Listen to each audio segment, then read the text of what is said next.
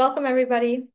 Thanks for coming to the EnSoil Algae Info session. My name is Camille Newsom. I'm the Director of Grower Support and Education at Enlightened Soil Corp. Thanks for being here today.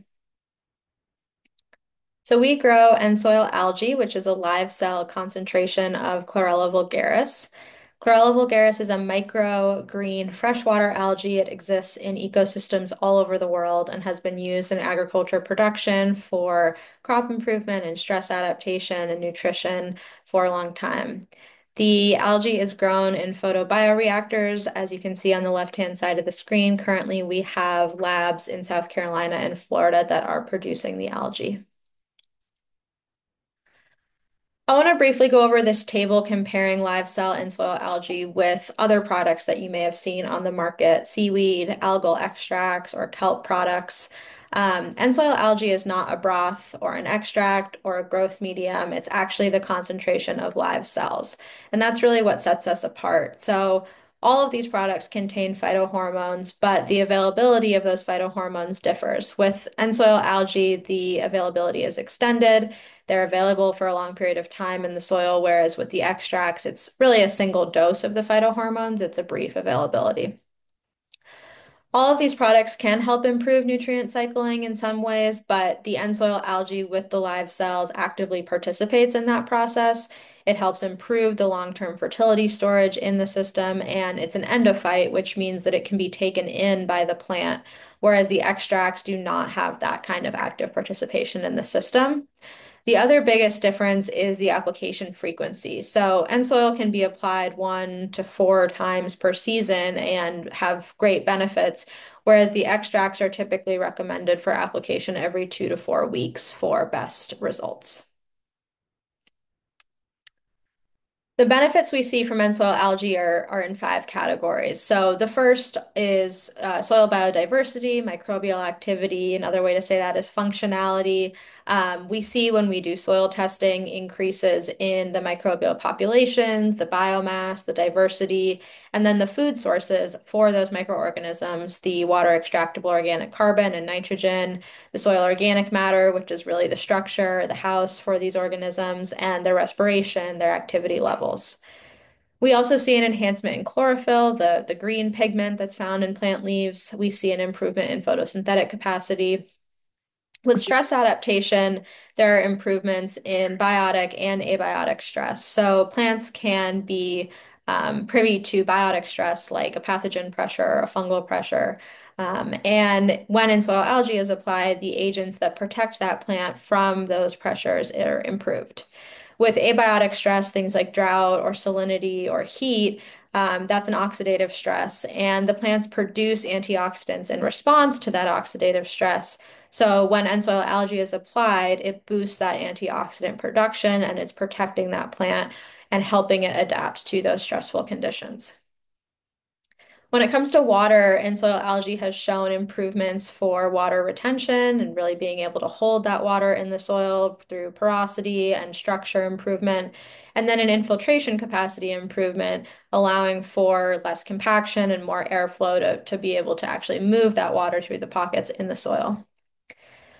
Finally, the nutrition availability and density and uptake are improved as a benefit. We see a relationship between the nutrient becoming bioavailable, whether that's fixing nitrogen or solubilizing phosphorus or potassium, and then the uptake into the plant, which then turns out into this density that's found in the plant tissue of that nutrient.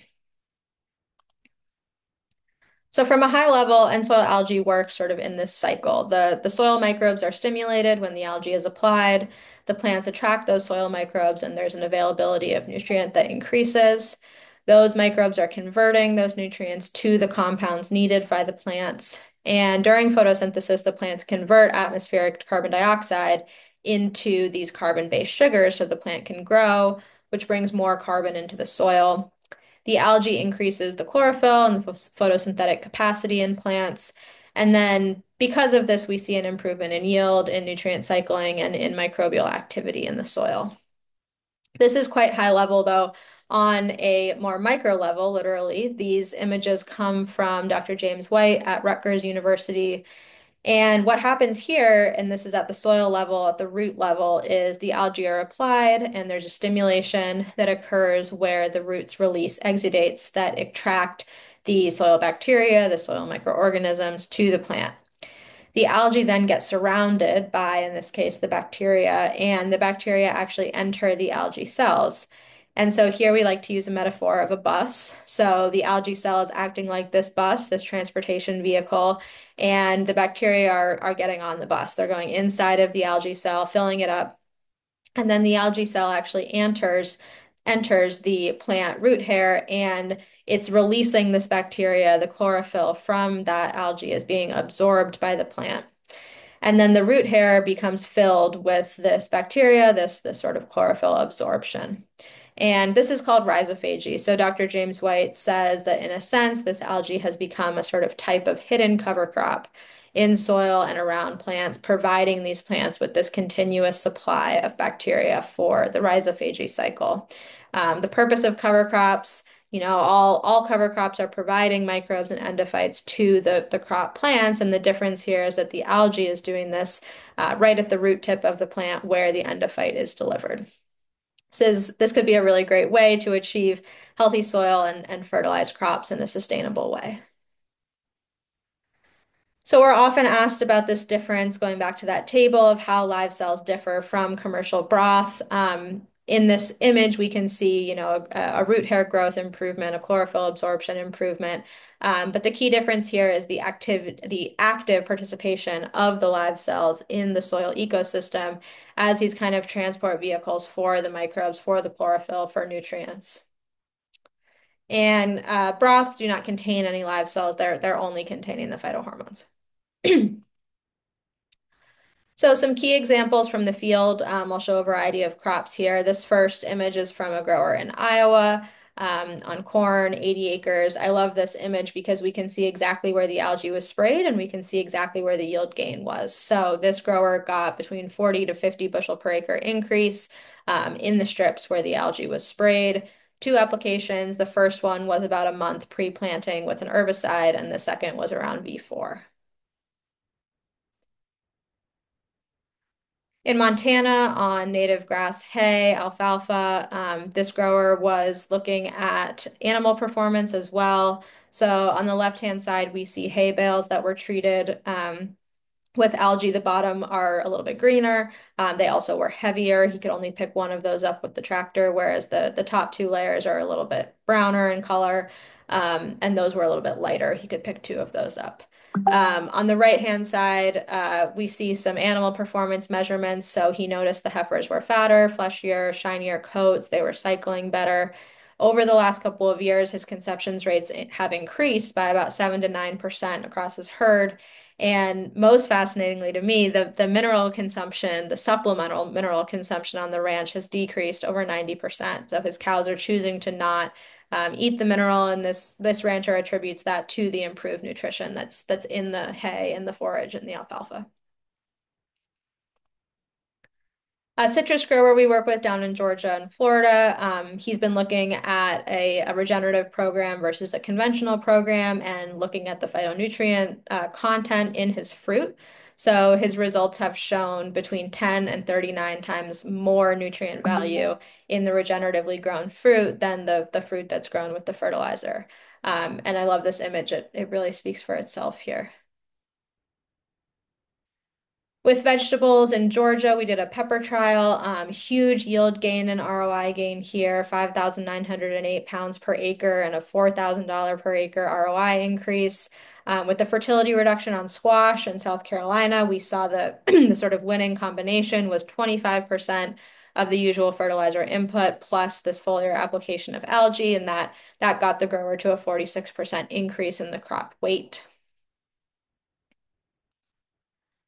On alfalfa in Minnesota, um, this was a feed test to look at the protein, the value, the quality, and the total digestible nutrients. We saw improvements across the board mm-hmm. here, um, in addition to uh, taller and, and more, more bushy alfalfa.